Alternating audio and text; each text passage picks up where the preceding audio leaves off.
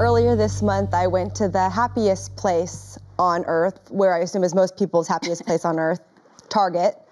And as I was in Target, I saw these two women at war with each other. And one of them was an employee, one of them was a customer. And this specific Target had uh, changed the line situation somehow, and the customer was not happy about it. And she let the employee know it. She just said, "You need to do the signs better. There needs to be more signs. You need to do the lines better." She was so upset, and she says, "You know, you need to help me know how to do this. I've never done this before." And the employee was shaking, and she responds, "For sure." there should probably be better signs. I don't really know what I'm doing. I could do this better. I'm so sorry. The customer yells at her one more time, You need to do your job better. And then the employee says, I've also never done this before. And as I was watching these two women, it was like seeing myself in two forms. I was like, I can totally relate to these two women. like, one of these women is like, we are in a situation in our lives that we've never been in before, and other people are supposed to help me. And the other girl was feeling like, man, I'm supposed to be helping people this is my job. Why don't I know how to do this better? And in that moment, I saw myself in both of these women in times when I felt like other people need to be helping me out.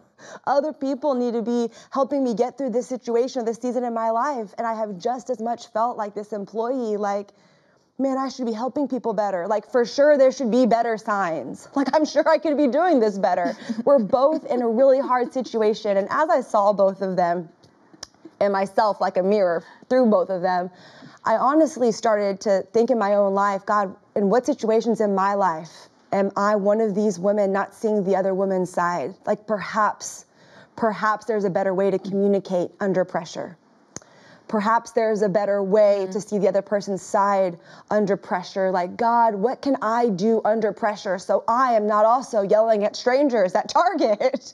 like, Lord, please help me. and I think it's a question we need to ask ourselves and a conversation worth having. What are we doing under pressure? How are we seeing other people who could also be under pressure? Are we stopping and considering, man, this person might be grieving, this person might be going through a hard time, this teacher might be having a hard time, this parent might be having a hard time, our pastor might be having a hard time, our spouse might be having a hard time? Is there a perspective shift we could have? When we're about to be aggressive towards someone, is there a way that we could perhaps pause and say, in the middle of this pressure, I'm not going to let the enemy have victory over my emotions or my aggression. I'm going to pause and consider is this person doing their best? What could they be going through? And then proceed from there.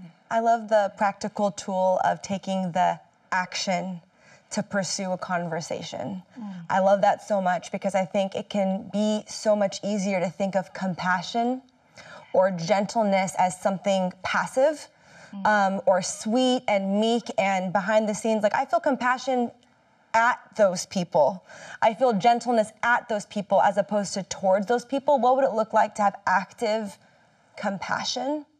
What would it look like to have active gentleness? There's a commentator who talks a lot about gentleness, and I love what he said. He said that gentleness is the act of saying, I'm going to fight for you, not against you.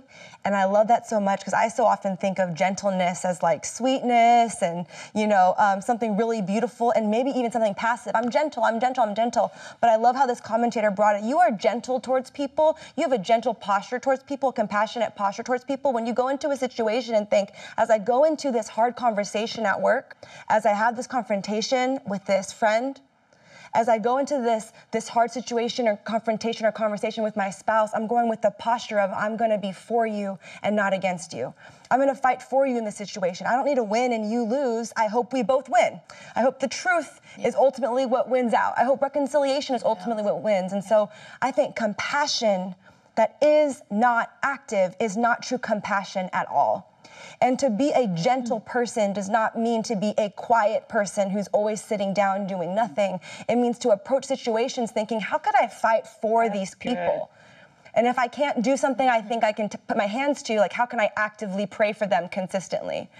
How can I actively have gentleness towards this woman at my church? How can I actively compa- be compassionate towards this this um, group of people at you know at my job? Compassion and gentleness is active. And I think the question we need to ask ourselves is not what do we feel towards people, but what are we actively doing to pursue reconciliation with each other and restorative relationships with one another. Mm-hmm. So I love, Natalie, that you talked about Very having good. active conversations. Yeah. I hope you enjoyed this video. Subscribe today and you'll never miss a new upload. And don't forget to check out our Better Together shop. Thanks for being a part of our community.